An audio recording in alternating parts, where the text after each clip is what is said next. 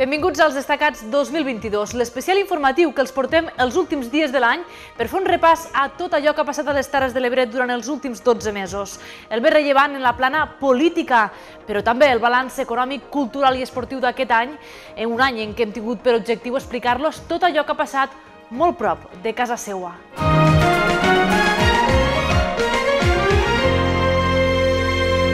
L'actualitat política d'aquest 2022 i en especial de les últimes setmanes ha passat pel Fons de Transició Nuclear, uns diners que han de revertir al territori per preparar-lo pel futur tancament de les centrals nuclears d'Ascó i Vandellós. Aquest fons ha provocat una picabaralla intensa entre les diferents forces polítiques presents al Parlament, sobretot entre el PSC i Esquerra. Els motius, la modificació d'alguns aspectes del document, com ara l'abast territorial, és a dir, quins municipis es podran beneficiar, i per l'altra, la quantitat de l'import que ha d'arribar al territori, també el sistema de governança del fons. A poques setmanes d'acabar l'any, el Parlament va decidir sobre el fons nuclear. S'incrementarà el 50% i s'amplia el radi d'acció a 30 quilòmetres respecte a les centrals d'Escó i Vandellós. Això significa que els municipis afectats pel tancament de les centrals rebran 60 milions d'euros anuals. La cambra va votar així a favor de les modificacions que proposava el PSC els socialistes van qualificar d'històrica esta aprovació. Com hem volgut sempre és portar més diners a la Ribera d'Ebre i volíem portar més diners a tot el territori. I a més a més, jo crec que ho han aconseguit. Manel ha parlat de 600 milions i jo crec que seran bastant més. I estava deixant de banda a tota la resta, de, injustament, eh? injustament a tota la resta de municipis. Eh? I això és clar molt clar. Junts va donar suport al PSC en la votació. Des de Junts per Catalunya creiem que amb aquesta aprovació el territori, les Terres de l'Ebre i el Camp de Tarragona, els pobles més petits tindran l'oportunitat de fer i de ser, de construir un futur per als seus fills i per a la nostra gent. Vetllarem per a que es compleixi aquesta llei aprovada al Parlament de Catalunya. Esquerra, contrària a la modificació dels socialistes per l'ampliació del radi de cobertura, assegura que el PSC i Junts han desvirtuat este impost sense acord territorial veiem reneixer la sociovergència del territori que, aprofitant aquesta proposta de llei, fa seua la, la seva presentació eh, al territori, la seva presentació oficial, ara en forma de repartidora territorial.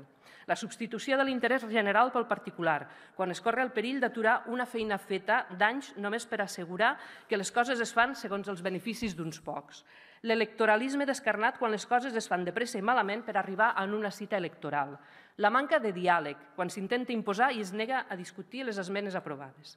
Des de Movem Terres de l'Ebre, qui defensava aquesta modificació, lamenten la falta de consens entre els grups parlamentaris perquè el que es va aprovar ahir és una notícia positiva per al territori, perquè evidentment passem d'estos 24 a 60 milions d'euros. Per tant, aconseguim l'objectiu de tindre el 50% de l'impost per, a, per a Terres de l'Ebre, per al Priorat i per al Baix Camp, però ens hagués agradat, i així ho hem dit sempre, que s'hagués pogut fer en un consens ampli. Es preveu que el fons s'active este 2023. Uns altres fons que han arribat aquest any al territori i que ho faran també el 2023 són els Next Generation. Es tracta d'uns ajuts europeus que volen transformar els reptes derivats de la crisi per la Covid-19 en una oportunitat per impulsar, per exemple, la transició ecològica i la transformació digital.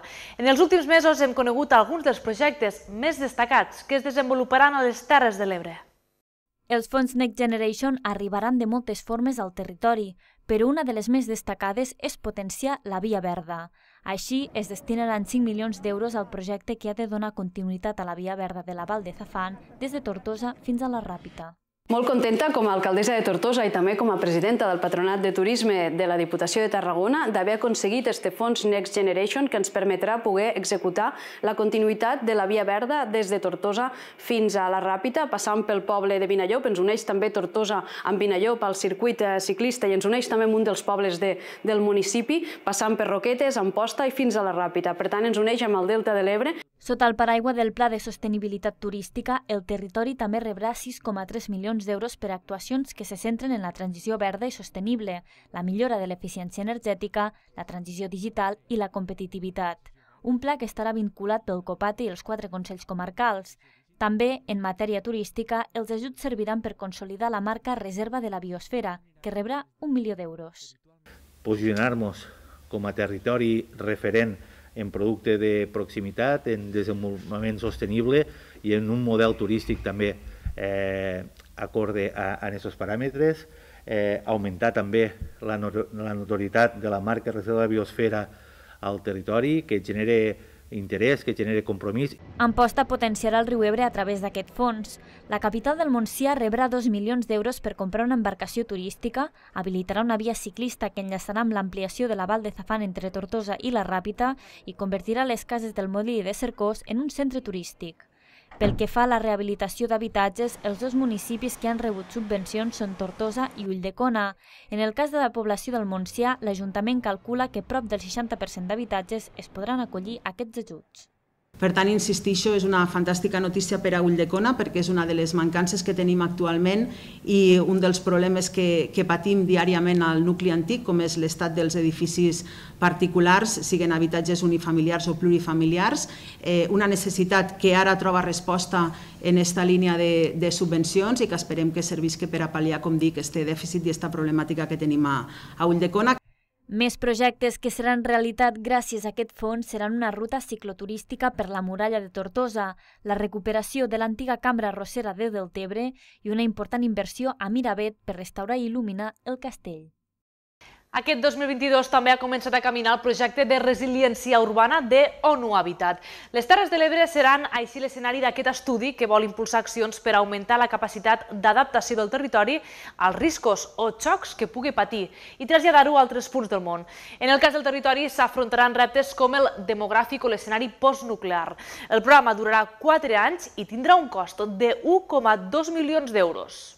I el que anem a analitzar i a veure com, com podem treballar-ho aquí a Terres de l'Ebre és veure com Terres de l'Ebre és capaç de mirar cap a un escenari futur, cap a un escenari eh, en què hi puguem identificar quines són les principals amenaces, però també quina és la capacitat de, del territori i veure què hem de transformar perquè sigui capaç realment de fer això, de, de tenir i de crear resiliència. Un altre dels temes capdals d'aquest 2022 està l'Hospital de Tortosa Verge de la Cinta.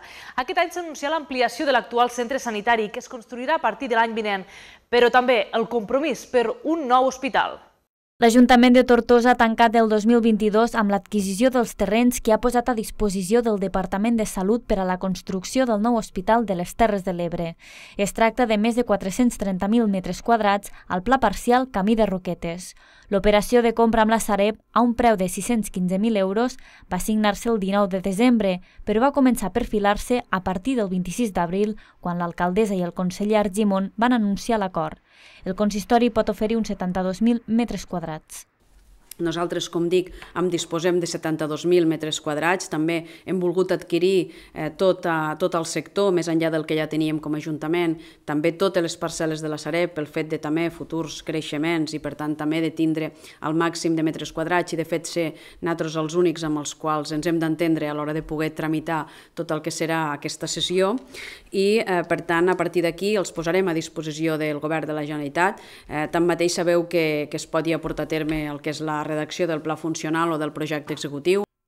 En aquell mateix moment també va anunciar-se l'ampliació de l'actual Hospital de Tortosa Verge de la Cinta, que hauria de fer-se durant els propers dos anys.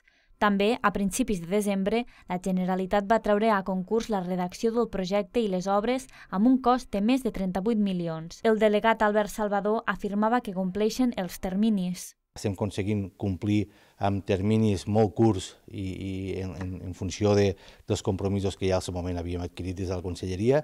Eh, per tant, també preveiem que es puguin començar les obres de l'ampliació de l'hospital tan bon punt acaben les primeres de, del nou pàrquing. No? I, evidentment, sense perdre de vista el gran projecte pel qual tots treballem, que ha d'anar, com se va explicar des de la Conselleria al seu moment, ha d'anar a continuació, que seria el projecte del nou Hospital de les Terres de l'Ebre.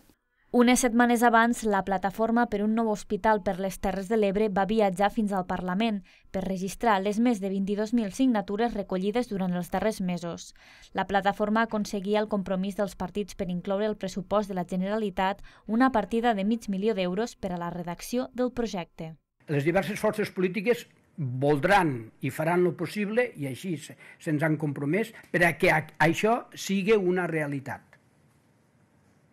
Pensem que ha, ha passat el temps de les paraules, ha passat el temps de les bones voluntats i si teniu en compte que en el 2006 a l'Hospital Nou era una necessitat, havent passat 16 anys, continua sent una necessitat.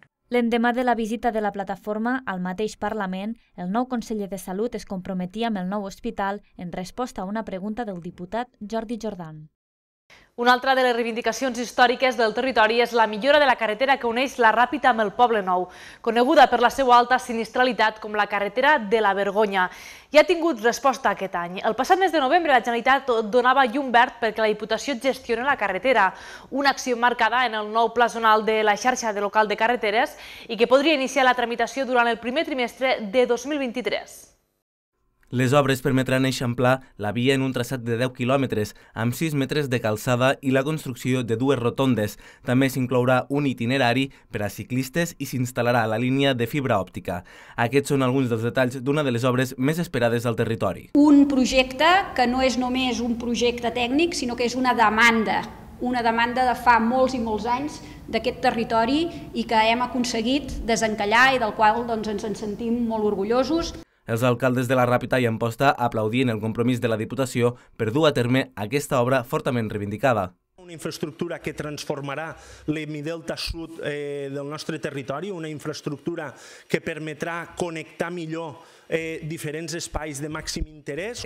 Des d'ara fins a l'execució eh, del projecte continuarem treballant no? de forma consensuada i, i garantir que, que bueno, aquesta actuació sigui, com he dit, segurament la més important que es farà eh, en els últims anys al territori. La carretera de la Vergonya, entitat que ha lluitat per aquestes obres, ha vist amb bons ulls el projecte de la Diputació, però mostra la seva preocupació perquè no sigui un anunci electoralista. Ens agrada perquè és una ampliació de la via, a més, hi ha dos trams on se farà carril bici, que és algo que nosaltres estàvem demanant i això creiem que és correcte, que està fet en criteris tècnics i que està, està bé però clar, ens preocupa, ho veiem en escepticisme perquè ens preocupa el fet de que no sigui un anunci ara que venen eleccions, sinó que realment això se complisca.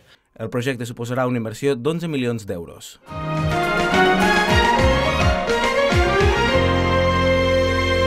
La plana política d'aquest especial informatiu també recordem els primers mesos de l'any a l'Ajuntament de Tortosa, marcats per la qüestió de confiança a l'alcaldessa, però aquest no seria l'únic moment a destacar de l'any, ja que el passat octubre el PSC trencava el pacte de govern amb Junts.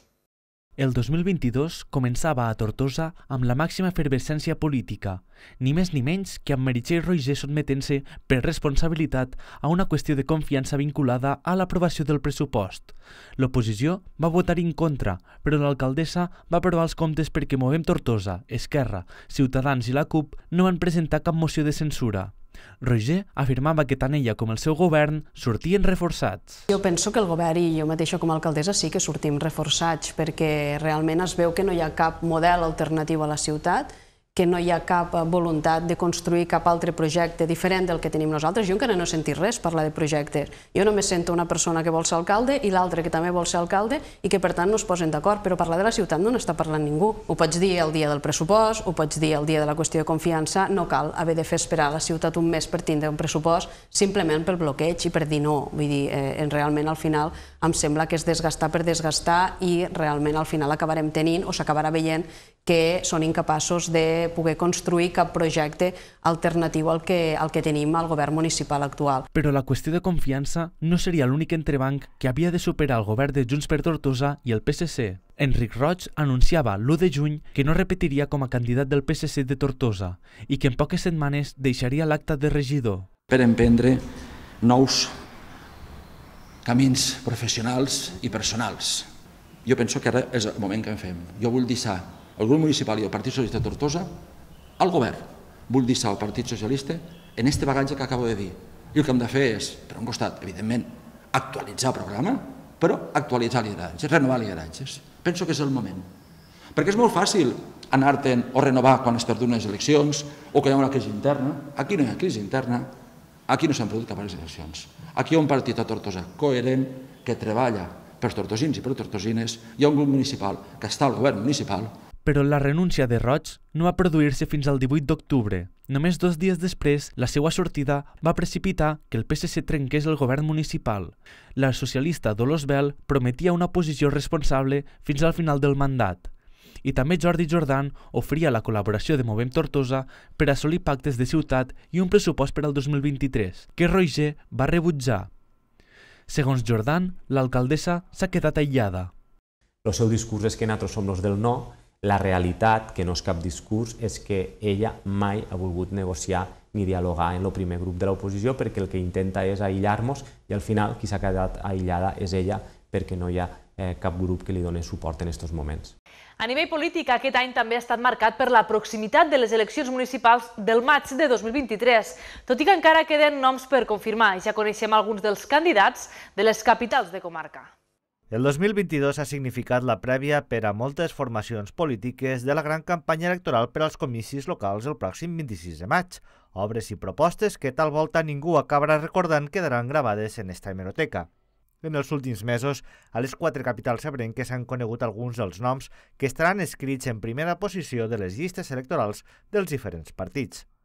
A la capital de la Ribera d'Ebre, Joan Pinyol deixava el càrrec després de 23 anys en política i donava pas a un jove Rubén Viernes que disputarà l'alcaldia Marta Montagut, també una nova cara d'esquerra a la localitat. Amb molta il·lusió, amb molta il·lusió i, i respecte també, les dues coses. No? Jo crec que són les dues paraules claus que tenim ara en aquests moments, o que tinc ara en aquests moments. Tinc il·lusió per presentar coses, eh, d'aquí tenim un any, un any de mandat, moltes coses que, que creiem que s'han d'acabar de tirar eh, d'ara d'aquí final d'any. A Gandesa, Carles Luz confirmava al setembre que es tornaria a presentar per revalidar el càrrec, però l'alcalde que pertany al PDeCAT ha assenyalat que encara no sap en quines sigles ho farà. No ho sé, eh, bueno, hi ha diferents contactes i de més. Avui per avui estic al PDeCAT, com bé sabeu, uh -huh. i eh, jo em penso que més enllà de les formacions polítiques, el que sí que tinc clar i tindrem clar és que nosaltres ens devem a la gent de Gandesa. Interessant campanya es presenta en posta amb la tornada de Manel Ferrer per Junts, que intentarà esgarrapar l'alcaldia a qui se la va guanyar el 2015, Adam Tomàs. L'alcalde repetirà per tercera vegada, tot i que no volia estar més de dos mandats, perquè li ho va demanar el mateix Oriol Junqueras. Hi ha moltíssima gent, i és ben cert, que m'ha trucat, m'ha dit, escolta, Amposta necessita un canvi, necessita una sacsejada des de tots els punts de vista, i això és el que m'ha fet eh, decidir a donar aquest pas perquè me'n dono compte que justament farà vuit anys eh, jo vaig deixar una ciutat que era una ciutat en mayúscules i per tant en aquests vuit anys hem vist com ha hagut un, un decaïment, però en tots els sectors de la ciutat d'Amposta. I, bueno, ho encararem amb moltes ganes i la veritat és que estic, estic molt il·lusionat i no em preocupa a vegades eh, la gent diu, ostres, vas dir que no et... hi ha gent que m'ho diu, eh? diu, vas dir que et presentaries dues vegades i tal. Bueno, no em preocupa perquè al final ho he fet perquè m'ho han demanat. Qui no repetirà serà Manel Macià, que després de marxar de Junts cedix els drets electorals a una nova formació, ara en posta, vinculada al món postconvergent. El PSC, per la seva banda, intentarà millorar resultats amb Jordi Pérez, qui creu que és possible trencar la majoria absoluta d'Esquerra en posta. I a Tortosa, amb els dubtes encara de saber si es presentarà Meritxell Roger amb la formació municipalista de Junts per Tortosa, els principals grups de l'oposició, Movem i Esquerra, repetiran candidat amb Jordi Jordan i Xavier Faura respectivament. Pensem que ara sí és la definitiva, ara és hora de portar a terme este canvi polític que la immensa majoria dels tortosins i tortosines clarament han expressat en les últimes eleccions i que si no s'ha arribat mai a produir ha sigut perquè alguns que defensaven el canvi després a l'hora de la veritat, com com ja sabem tots, no l'han acabat aplicant. Esquerra Republicana és l'alternativa real de govern a l'Ajuntament. L'alternativa real per transformar Tortosa en aquell projecte de Tortosa amable que us acabo de definir. Per fer una ciutat on se millora la qualitat de vida dels tortosins i de les tortosines. La sortida de la política d'Enric Roig deixa en stand-by el lideratge del PSC tortosí, ara fora del govern municipal. Amb les incògnites de la CUP i Ciutadans, qui aterra Tortosa després d'uns anys a Roquetes seran els valents de Ximo Llopis. I en el bloc polític aquest any també hem de lamentar la mort del senador republicà i exalcalde de Gandesa, Miquel Aubà. Aubà va morir als 58 anys després de lluitar contra una llarga i dura malaltia. Per homenatjar la seva figura, Esquerra va realitzar un acte a la seva ciutat. Més d'un centenar de militants, familiars i persones properes a Aubà van participar.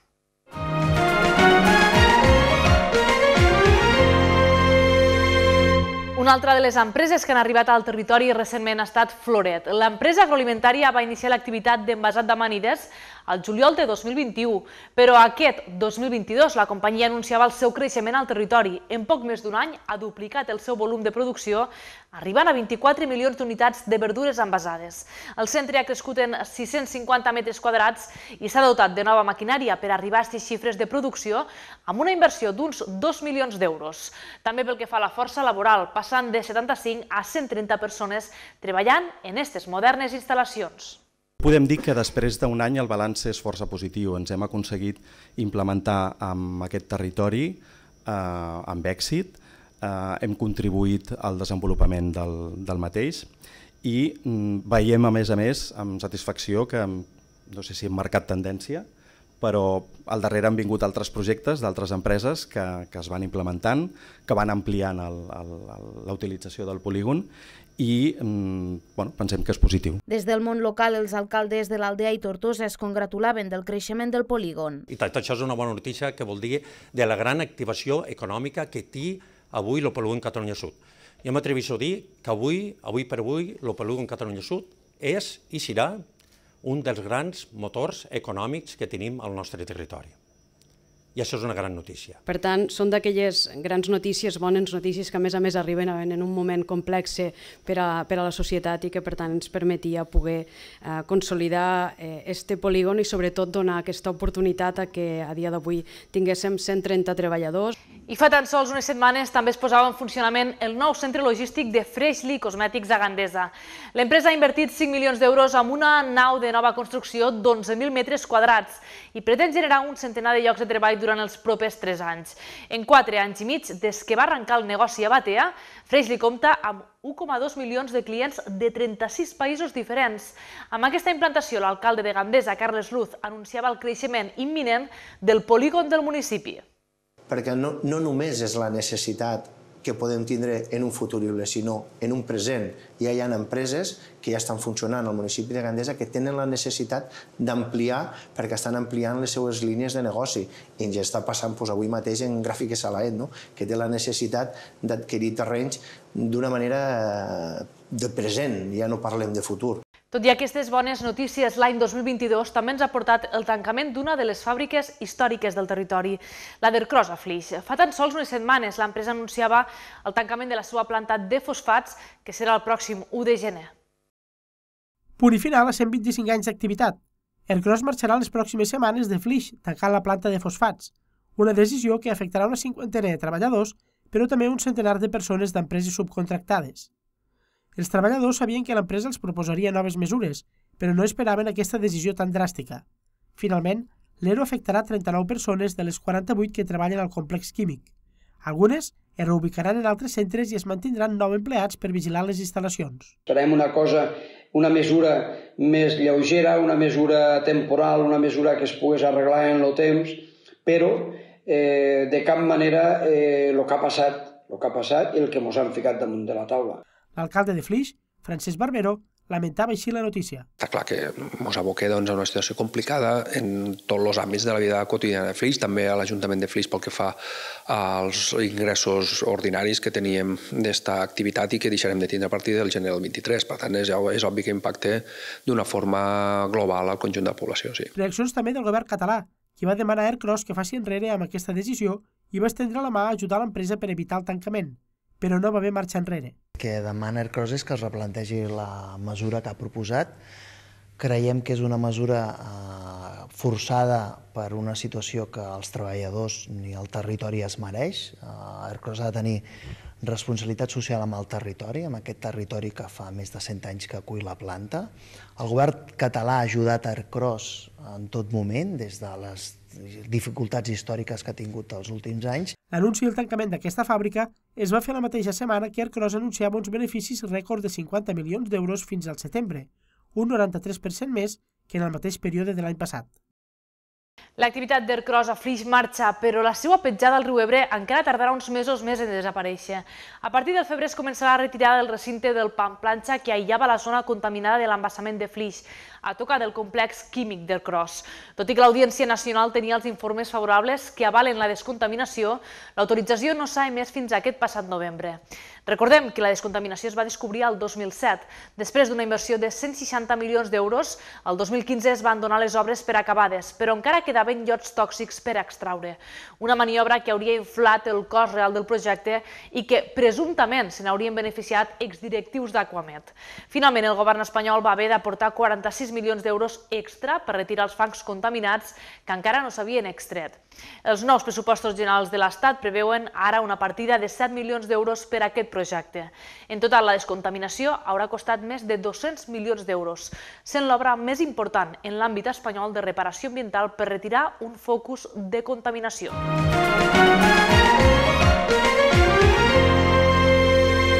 L'economia de l'Ebre també ha estat marcada per la guerra d'Ucraïna. La inflació i la pujada de preus ha afectat tots els sectors i a totes les butxaques.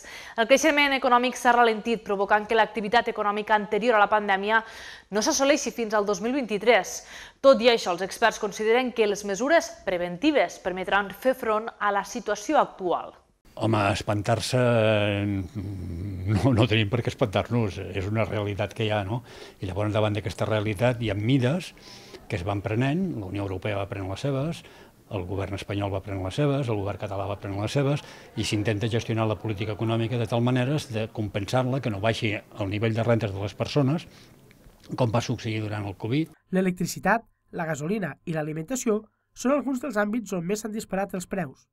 En el cas dels aliments, el preu ha pujat més d'un 15% respecte a l'any passat, una situació que marcarà els àpats nadalencs. El que gastem potser sempre una mica més és en els entremesos i tot això, i bueno, ho anem, anem mirant el que fem. Un dia és un dia, tu. O sigui, a l'endemà estarà igual. Què vols que digui? Si és que els preus s'han pujat i sí, igual fas un, una mica de mirar-te una cosa o una altra, però res més. Bueno, fa o no fa el mateix. Aviam, no menjant, de menjar tampoc no comprarem coses fora de lo normal, que no, no mos arriba tot. Aquest està l'escenari del 2022, però com es preveu el 2023? Algunes de les respostes es van abordar durant l'última trobada d'Economia de la URB. Segons el catedràtic d'Economia d'aquesta universitat, Juan Antonio Duro, les comarques ebrenques compten amb fortaleses per creure en un futur engrescador. Segons el catedràtic, la congestió dels grans centres productius afavorirà l'arribada de noves empreses a territoris més diversificats com l'ebrenc. També considera que l'arribada dels Next Generation, que els parlàvem al principi de l'informatiu, i també del fons nuclear han de permetre consolidar els sectors econòmics. Estem en un lloc que està en ple, diguem-ne, està en ple corredor del Mediterrani, no? per tant no està aïllat de tot, no? està en una zona de, de gran potencial d'expansió, espais empresarials i per tant terreny disponible una mica per facilitar l'atracció d'empreses. Jo crec que tenim una certa tradició ja en governança cooperativa i en coordinació entre les diferents administracions per, per assolir un, un futur millor en l'àmbit industrial doncs bé, tenim fortaleses molt importants, per exemple en l'agroalimentari, com també en algunes activitats lligades amb el sector industrial, sector logístic, sector primari, i després el tema del turisme. No? El turisme que es demandarà en el futur és un turisme en el qual eh, el, el territori està perfectament especialitzat. Més qüestions, la fragilitat del Delta de l'Ebre també ha marcat un any més l'agenda política i social del territori. Al maig, el govern de la Generalitat donava a conèixer l'estratègia Delta, un pla per frenar la regressió al Delta de l'Ebre. Un cost de 65 milions d'euros i una durada de més de 20 anys. Aquests són alguns dels detalls de l'estratègia Delta, el pla de la Conselleria d'Acció Climàtica per salvar el Delta de l'Ebre, que es va presentar el primer semestre de l'any. L'estratègia Delta ja ha fet alguns passos aquest 2022, com és la batimetria de les sorres del fons marí per tenir informació acurada dels bancs de sorres que han de servir per reforçar el litoral i les zones més fràgils. L'objectiu és moure 11 milions de metres cúbics de sorra. Una acció inicial, que és la que hem de fer en el pla Delta que plantejava en l'estratègia Delta els pròxims sis anys de poder reforçar totes aquestes eh, costes i després també sabem que caldrà un manteniment. Sempre han dit que ja sabeu que s'arranca l'arena la, del frontal i se'n va detrás i per tant caldrà un manteniment després o és el mateix que fan a Holanda. Des del govern català insisteixen que aquest pla tindrà resultats sempre que hi hagi una bona coordinació amb l'administració espanyola. I sense aquest diàleg fluid no podem avançar en cap estratègia. No sé si aquesta és la millor, nosaltres pensem que és la millor i és compartida. Però si no hi ha diàleg, no ens en sortirem. Volem també un diàleg honest. És molt important, la honestedat.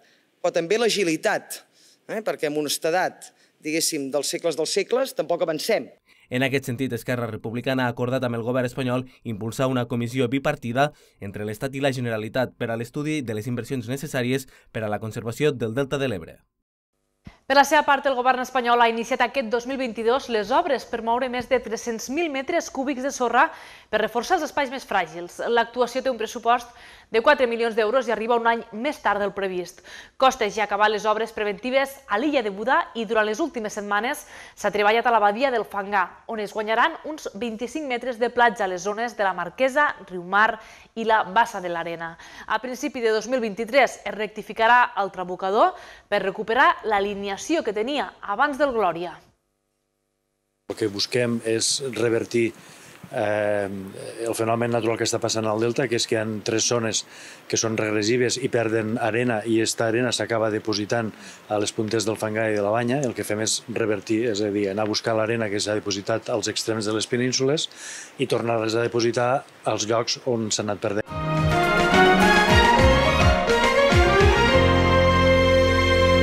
I en el sector primari aquest 2022 ha vingut marcat per la polèmica per la crema de les restes vegetals.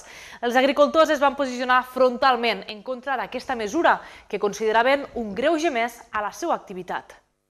Els pagesos han tornat a sortir al carrer aquest 2022. Un dels motius principals ha estat el rebuig frontal a la llei estatal que impedia fer la crema de la poda sense un permís previ. Sí, bueno, ara no, li que demanar més que tornéssim a fer el que sempre havíem fet.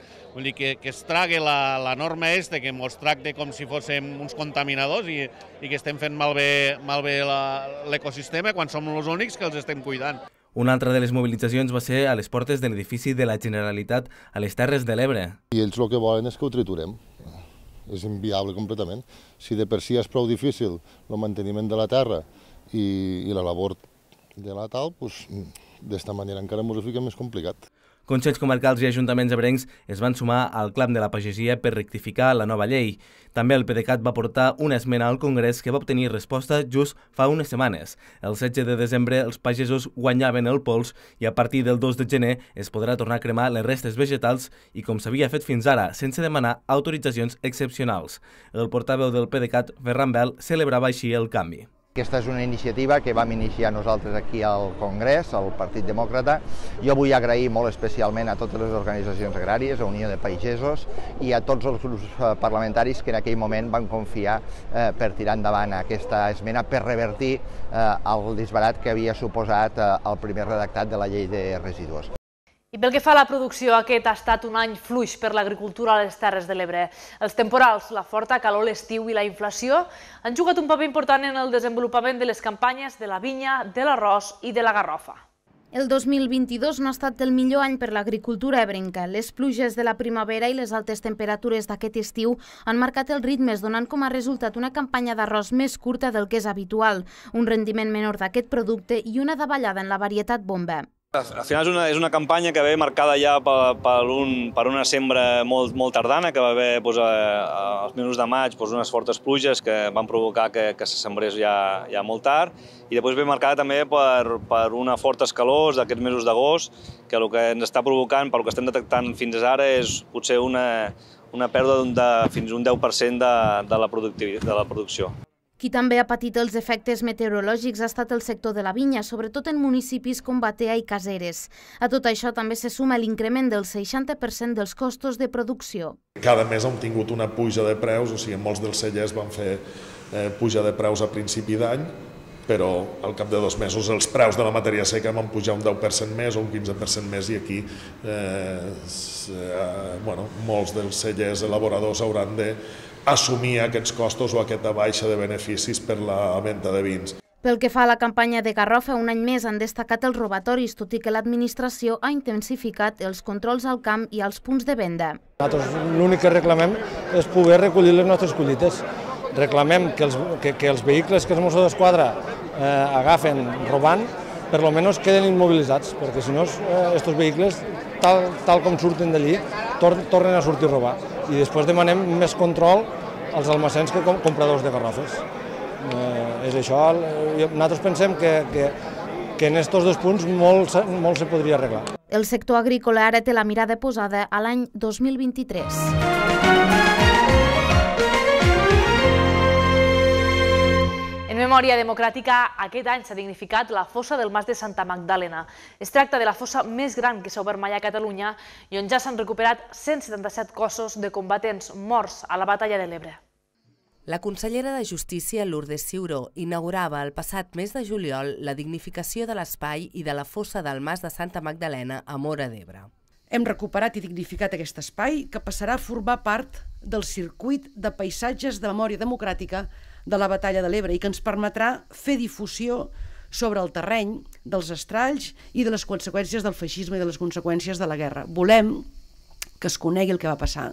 L'alcalde de Mora d'Ebre celebrava aquest homenatge a les persones que van perdre la vida durant la batalla de l'Ebre i destacava l'esforç per recuperar la memòria democràtica. Tota la història que hi ha al darrere de cada fosa que s'ha obert hauria quedat relegada a l'oblit si no hagués estat, estat per l'esforç conjunt de la Direcció General de Memòria Democràtica de Catalunya i de l'Ajuntament de Mora d'Ebre. A l'acte també han participat els familiars del combatent republicà Andreu Flores, el primer soldat identificat gràcies a una mostra d'ADN que el seu fill va deixar al programa d'identificació genètica de la Generalitat. Han trobat les restes del nostre avi. L'Andreu Flores Flores va ser ferit al crani i operat. L'avi Andreu se'ns fa més present que mai. Encara hi ha 175 cossos que no s'han pogut identificar. I un any més, el del 2022, sense novetats pel que fa a la retirada del monument franquista. Treure el monument haurà d'esperar com a mínim fins l'estiu vinent. I és que el Tribunal Superior de Justícia de Catalunya va confirmar el passat juliol les mesures cautelars que impedeixen de moment la seva retirada. Tot i això, la nova llei de memòria democràtica podria permetre treure aquest monòlit. Caldrà esperar, per tant, als propers mesos.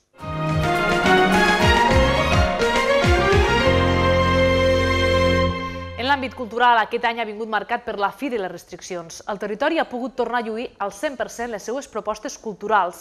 Per exemple, la Festa del Renaixement de Tortosa, que va reviure l'esplendor de la ciutat del segle XVI i que estem molt contents de, de com ha anat i de com s'ha desenvolupat aquests quatre dies de festa i per tant amb una valoració molt positiva s'ha demostrat que la gent ne tenia moltes ganes, que les entitats, que les associacions també i sobretot la ciutadania que, que de nou s'ha tornat a vestir d'època i per tant ha respost a, a la crida que, que van fer de que tothom visqués la, la festa de manera intensa.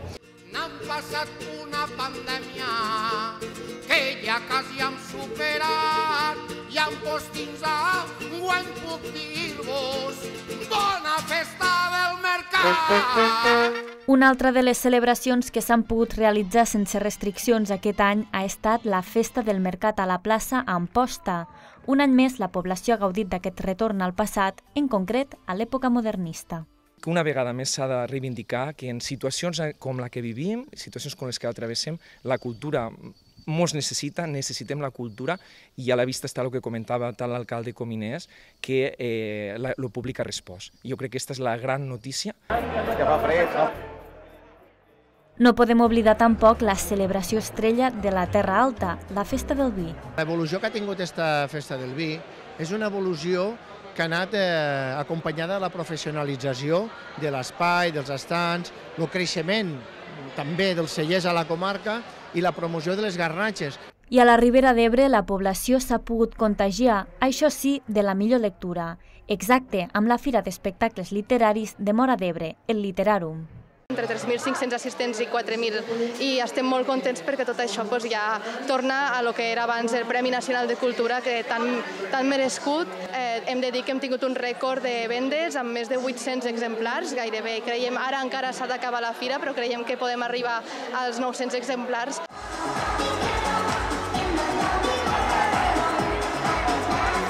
Literatura, però també dansa, i és que Deltebre ha recuperat el Deltebre Dansa, el festival que enguany ha reunit més de 250 ballarins vinguts d'arreu del món i amb companyies que han sorprès nit rere nit als espectadors. A la inauguració del festival hi ha tres premisses que eren la base i la característica d'aquest festival, que és la força, el reconeixement i el futur. I després d'estos 15 dies de festival, d'aquestes dues setmanes intenses, podem dir que tant la força l'hem demostrat, el reconeixement és més que plausible i el futur està més que garantit. La cultura, per tant, ha tornat la il·lusió a les comarques ebrenques. Segur que aquest 2023 ho fa amb la mateixa o inclús amb més força.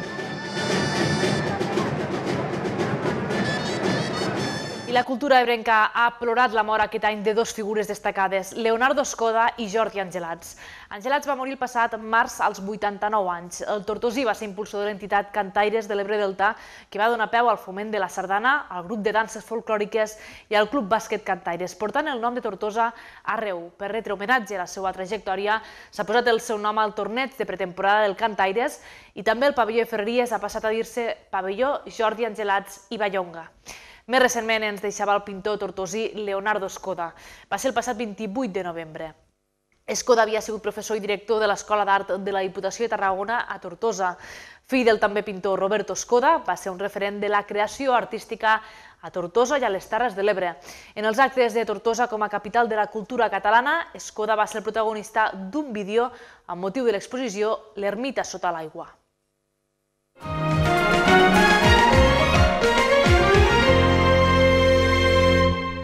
Aquest 2022 ha sigut un bon any per casa nostra. El grup Doble Columna va estrenar 21 Ràdio, una nova emissora en línia de les Terres de l'Ebre destinada al públic més jove. Com arriba ell? Amb una programació atrevida i sense tabús. Benvinguts al primer informatiu de 21 Ràdio. Avui, 21 de març del 2022, estrenem aquesta emissora de ràdio que escolteu. 21 Ràdio, el nou mitjà de doble columna, neix amb la voluntat d'ampliar l'oferta informativa i d'entreteniment a les comarques de l'Ebre. El grup Doble Columna va estar d'enhorabona el 2022. El 21 de març es va estrenar 21 Ràdio, la nova emissora en línia de les Terres de l'Ebre. La seva directora, Terebaide Pérez, destacava que amb esta nova aposta del grup de comunicació s'ampliava l'oferta informativa i musical de les Terres de l'Ebre. La, la voluntat és, és d'ampliar l'oferta no? informativa a les Terres de l'Ebre amb un nou mitjà, amb l'empresa Doble Columna. Ja tenim tele, tenim cop d'ull, feia falta la ràdio. La ràdio que feia uns anys dient que desapareixeria i que va, que la ràdio té molt de futur. Uns mesos més tard, 21 de setembre, 21 Ràdio va fer la seva presentació en públic, reivindicant-se com una ràdio de joves i per a joves, que neix en un entorn digital amb una programació fresca, atrevida i sense tabús. Així ho va exposar el cap de programes David Benito. La gent jove moltes vegades se sent apartada perquè els mitjans de comunicació locals no han buscat fórmules per arribar als seus objectius i ara nosaltres estem fent aquesta aposta tan gran per aconseguir que la gent jove se senti representada i que pugui consumir aquests mitjans de proximitat, informació i entreteniment. La jove emissora del grup Doble Columna es pot escoltar a través de la web 21radio.cat, del canal 34 de la TDT i de la seva pròpia aplicació per Android i iOS. El despertador de matí mañana, els programes musicals sota la direcció de Quim Domingo, tot l'esport de Vicky Magí, l'entreteniment i l'humor són alguns dels ingredients que, de ben segur, garantiran l'èxit de 21 Ràdio durant molts anys. El nostre grup també hem tingut més motius per estar d'enhorabona. Els èxits reconeguts durant aquest any al programa De Sol a Sol, una coproducció de Canal 21 i Canal Terres de l'Ebre amb la xarxa de televisions locals de Catalunya. El programa dedicat a la pagesia s'ha emportat en només un any el Premi Zapping i el guardó del Col·legi de Periodistes de les Terres de l'Ebre. Des de que el sol ha sortit, sega que sega aquí estem, si el pagès no treballessa, no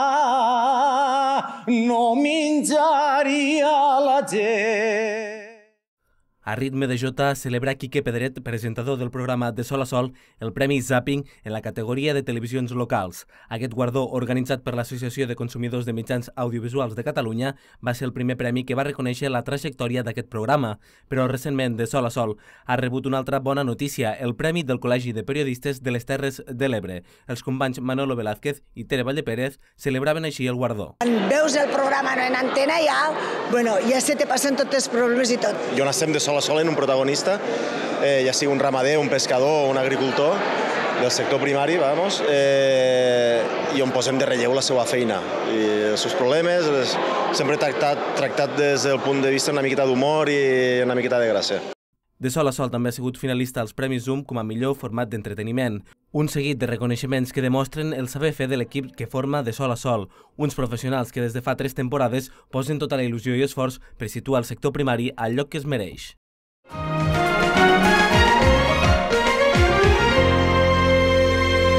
A nivell futbolístic, les Terres de l'Ebre han viscut un any intens, amb la celebració de l'èxit aconseguit per l'Ui de Coneng Aleix Garcia, el qual va aconseguir l'ascens de la primera divisió amb el Girona. També es van celebrar ascensos d'equip ebrencs, com el de la Rapitenca a la tercera divisió. La nota negativa per això va ser el descens de l'Escó a la primera catalana.